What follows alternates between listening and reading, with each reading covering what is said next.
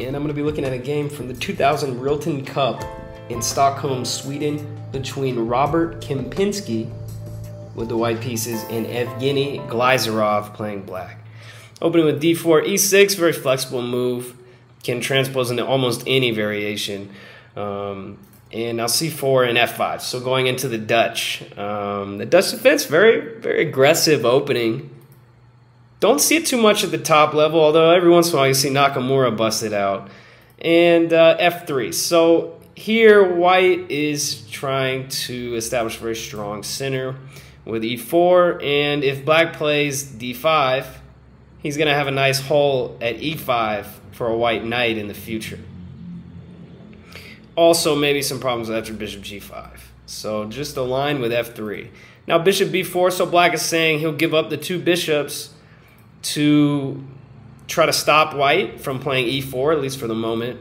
And um, now a3. So black, you know, here, if, if white doesn't play a3, he's giving black a choice. Let's say rook e8 and then a3, and black could hang on to that bishop. So I like I like the early a3. Just you know, make black make a decision. So he's he's probably going to take you know almost always. And now uh, d6.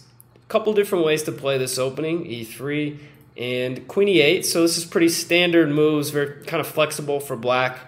And now with knight c6, he commits to the plan involving e5 and e4. He could have also gone into a type of bird opening um, with b6, bishop b7, and knight d7.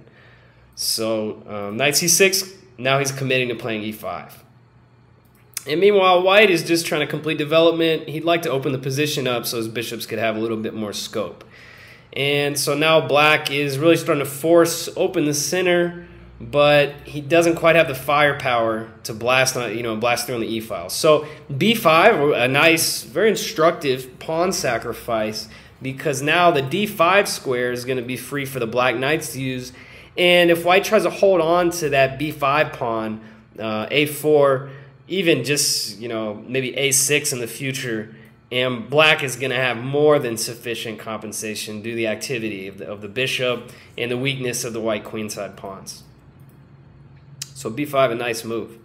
And now um, Kempinski really tries to open up the position with d5. And here I, I started thinking he's, he's got something of an advantage because the presence of opposite colored bishops on the board always favors the attacker because there's nothing to oppose it. And so uh, we're going to see in a minute how strong white's control of this diagonal is and how dangerous it is for black. Knight f4, I thought a pretty interesting exchange sack here. Rook takes, and probably queen takes would be the most likely, probably the best way to do it. The best way to take the pawn because a, a trading queens is going to favor black most likely in this endgame because his king is kind of vulnerable.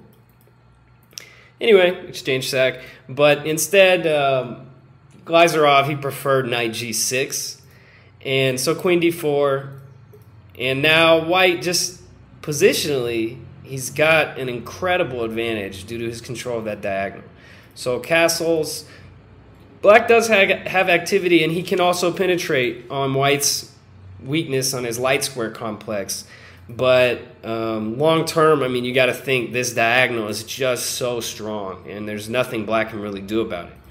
So a couple of kind of regrouping moves here, and maybe black should have tried a move like c6. I think maybe that was his only chance. Um, or just you know directly c5, probably the same same result. So instead, he tries queen b3, and now rook f2 is you're starting to starting to see the pressure building up on that um, that g7 pawn. So queen a2. So black is just kind of snuck in with his queen, and he's got some pretty good counterplay. But rook f4, and the, again, the battery with the bishop and queen is just so strong. So here, rook f1, now c5, and Kempinski drops a bomb in the nick of time. He doesn't want to open the position up. So instead, he just sacks his queen. So a temporary sacrifice based on some pretty nice tactics. So um, takes, and now Kempinski keeps going. Rook f7, very basic tactic. If if black takes, uh, well, that's going to be mate. So um, White is in a strange way. White's going to win the piece. But He's he's going to win another rook. So we have two rooks for the queen, and more importantly, a very dangerous attack. So here um, takes, and now king d2. Seems kind of like a strange move, but it wouldn't really alter. It, wouldn't change anything if black takes d5. The white king just goes to the king side to safety and also to help mate black's king.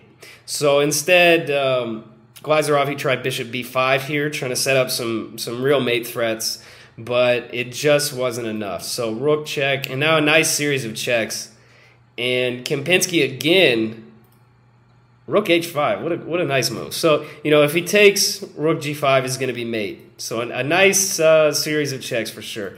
Now check, and bishop f6, there's going to be mate the next move with rook to h5, unstoppable and black doesn't have any checks. I mean, if he takes, he can't even take d5.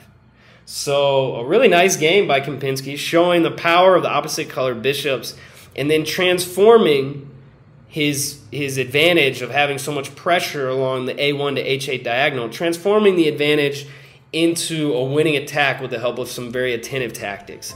So uh, definitely a nice game. So this is Will Stewart from OnlineChessLessons.net, and thanks for tuning in.